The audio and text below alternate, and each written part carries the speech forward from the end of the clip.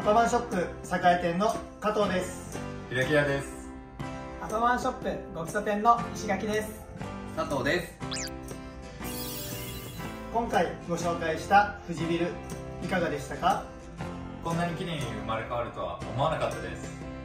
やっぱりマンションも中身が大事ですね。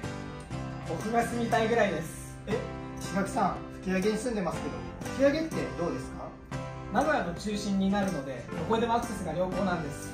吹き上げを中心に名古屋が回っているということですね。そうですね。吹上公園もありジョギングや子供と遊んだりもできます。都会のオアシス的な場所ってことですね。そうですね。治安がとても良いです。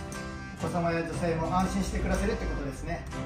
他におすすめスポットってありますか？僕は吹上の米田コーヒーによくお世話になっておりますモーニングや白ノワールにはとても感激でした。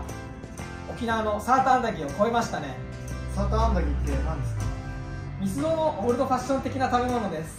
美味しそう食べてみたい。あと今池の繁華街にもアクセスが良好なのがとてもいいですね。店にも僕は一人でよく行きます。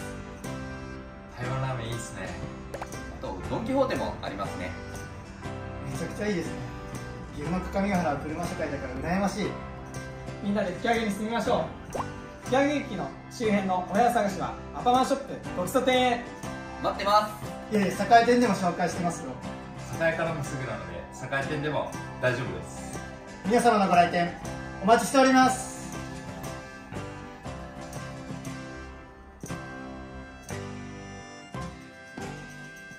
引き上げて最高にいいですね